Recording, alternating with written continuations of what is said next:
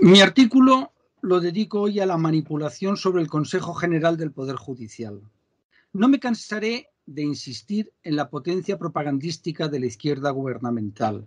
El intento de asaltar la justicia con la reforma del sistema de elección de los vocales del Consejo forma parte de un plan que comenzó con el nombramiento de Delgado como fiscal general y que concluirá otorgando la instrucción a los fiscales. Es algo tan escandaloso como dinamitar los contrapesos del sistema de poderes con el objetivo de conseguir, como dijo Iglesias, que el centro derecha nunca se vuelva a sentar en el Consejo de Ministros. La realidad es que la encuesta que publicamos hoy muestra que sigue sin existir una alternativa al gobierno socialcomunista que consiga sumar los escaños suficientes gracias a la división. La ofensiva contra la justicia ha concitado una oposición generalizada en la judicatura, salvo en la izquierda que es minoritaria, pero los políticos y periodistas afines siguen insistiendo en el bloqueo del PP. Es decir, el indefenso gobierno social comunista se ve obligado a presentar esta proposición de ley orgánica porque la malvada derecha impide algo tan razonable como formar un consejo dominado por socialistas, comunistas, independentistas y antisistema.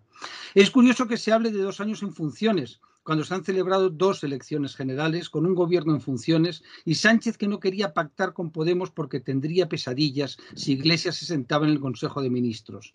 La imposibilidad de lograr un acuerdo con Podemos o Ciudadanos hizo necesarias unas nuevas elecciones. Por tanto, es bastante obvio que hubo un largo tiempo de impasse en el que no era posible alcanzar ningún acuerdo para renovar este y otros órganos constitucionales.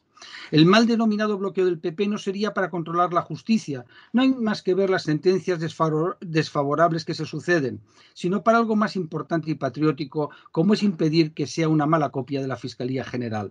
No se está incumpliendo ningún mandato constitucional, porque si el constituyente hubiera querido un automatismo, simplemente habría incluido el cese inmediato de todos sus miembros al concluir su mandato, como sucede con el defensor del pueblo. Lo que se trata es de conseguir un consejo que sea independiente y no una especie de nuevo ministerio al servicio de la Moncloa. Y voy a concluir como el pasado sábado. Sigo sorprendido porque Sánchez haya autorizado esta tropelía y, espero que vuelva a ser el socialdemócrata que conocí.